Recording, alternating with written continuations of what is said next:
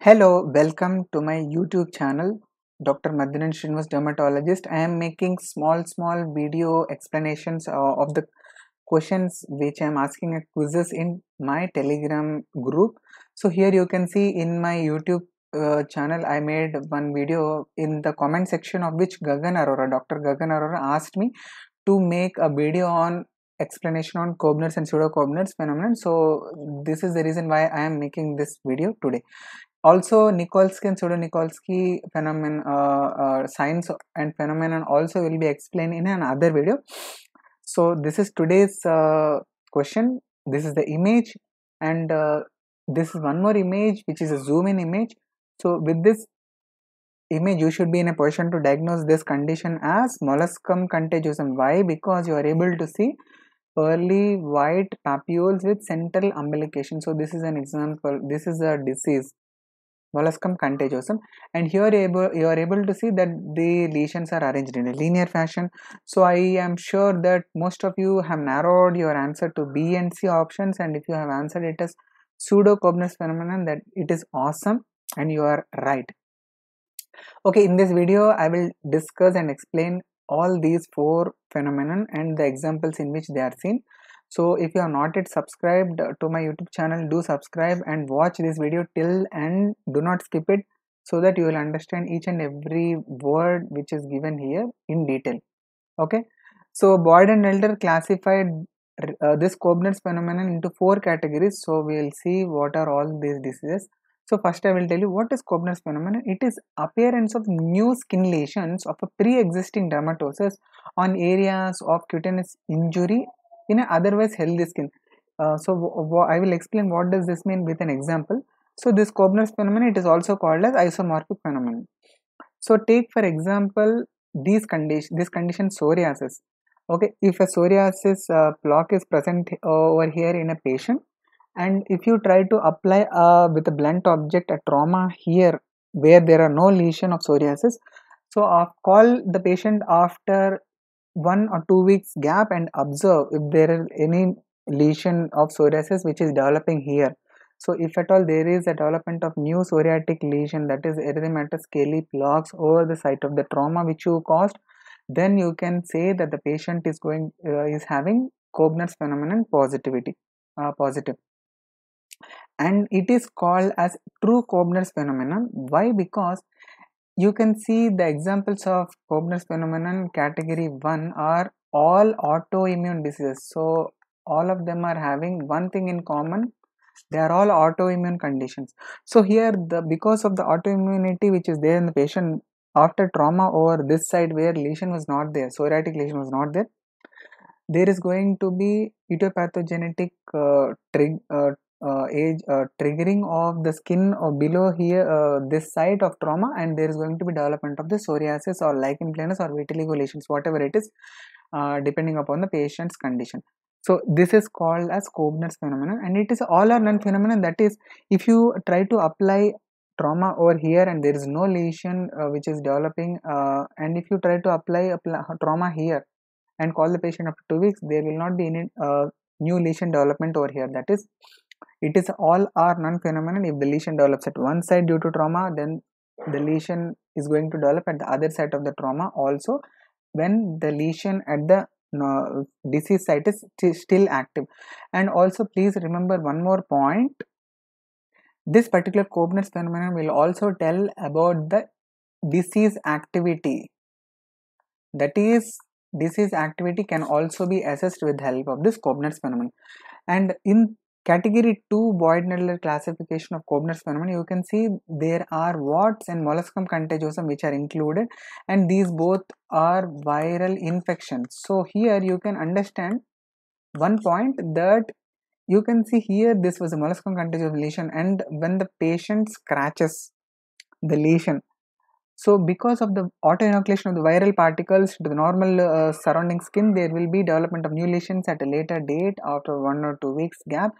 So this uh, phenomenon where you are getting new lesions because of autoinoculation, autoinoculation of the viral particles is called as pseudo-Koebner's phenomenon. Okay you should just remember this point. It is seen in viral warts and molluscum contagiosum. And there are two more entities reverse Koebner's and remote reverse Koebner's so i will tell you with an example where a psoriasis patient has come to you with a lesion over here or, or, and you are uh, you want to just confirm the diagnosis. So you have done a biopsy uh, the, from the edge of this lesion.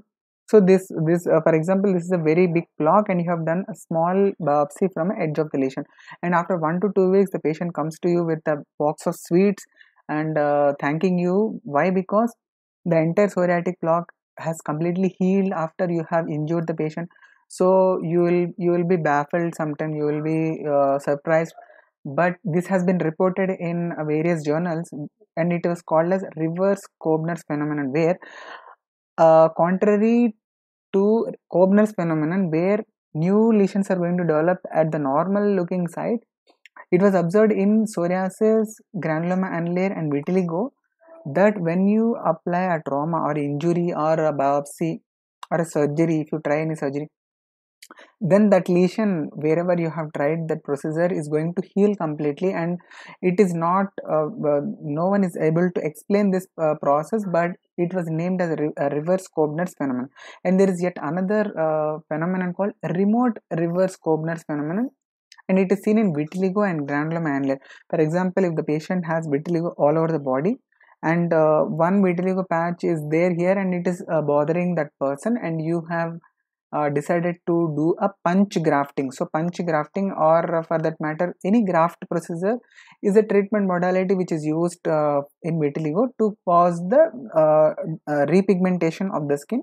So here you are able to see it is depigmented patch and we what we'll do is normal from the normal looking skin we'll take punches punches. That means small small cylindrical uh, these kind of cylindrical punches we are going to take from normal uh, uh, pigmented skin and we are going to apply those small small punches over the this depigmented area and there will be again repigmentation of this side. So it was observed while doing this surgical procedures that uh, whenever this lesion of vitiligo was uh, being operated then say for example he this particular patient has a depigmented patch or abdomen or back. So just uh, for example uh, i'm telling over the abdomen and back also lesions are there. So after this surgery after two weeks the patient will come back again uh, with the pa packet of sweets and uh, he will thank you so much. Why? Because the lesions over the abdomen and back where you have not operated they are becoming repigmented and they are appearing nor like normal looking skin. So this particular uh, uh, phenomenon it is called remote reverse Koebner's phenomenon where there will be spontaneous repigmentation at distant patches after autologous skin graft surgery. It can be punch biopsy or it can be graft surgery also. Okay uh, so this is remote reverse Koebner's phenomenon and it is seen in vitiligo and also granuloma annulare okay so this was uh, one question which I have asked in my uh, telegram uh, group uh, in February 21st of February 2020 this question was asked. Koebner's phenomenon and remote reverse Koebner's phenomenon both are positive. In if you have answered it as vitiligo you are absolutely right. So please remember this Koebner's and remote reverse Koebner's and for that matter reverse Koebner's phenomenon. So these are all these are positive in vitiligo so this is summary and uh, category 1 and 2 i have told you in detail. So there are some other skin conditions where you will see Koebner's phenomenon and the examples for them are and which you, you should remember are erythema multiforme kaposi sarcoma lichen nitidus and uh, you can say lichen sclerosis. So these were the conditions. So the highlighted ones are the important uh, ones to be remembered for the examination purpose the other ones uh, everything you need not remember. So i thank you so much for all your patient uh, listening and uh, please do subscribe to my channel if you have uh, liked this way of uh, short video presentations. Do check out this video to get a very good mnemonic for understanding and remembering fragile X syndrome. Do check out that video to understand Hess test or tourniquet test and uh, way in which condition it is seen that's it in this session guys in this video. Bye bye. Uh, thank you so much. Uh, do comment if you are having any queries. Bye. Happy learning